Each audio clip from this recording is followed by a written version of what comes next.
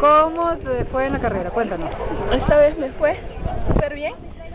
Este, me tracé el objetivo de pasar a uno por uno en la subida y, y ya en la bajada este, disparé y mi cuerpo solito se fue.